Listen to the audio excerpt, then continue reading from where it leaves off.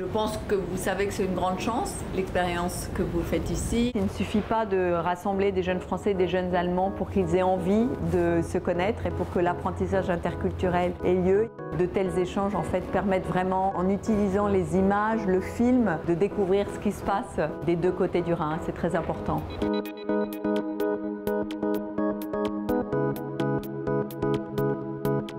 Ils sont très très impressionnés de tout ce qu'ils ont vu, mais pas uniquement le fait d'avoir approché le, tapis rouge, d'avoir approché des stars. Ils sont aussi très sensibles au fait qu'à la fois l'OFAGE, la semaine de la critique, ont vraiment pris le temps de les rencontrer, de les écouter, de les sensibiliser aussi à cette euh, mission importante de l'éducation à l'image.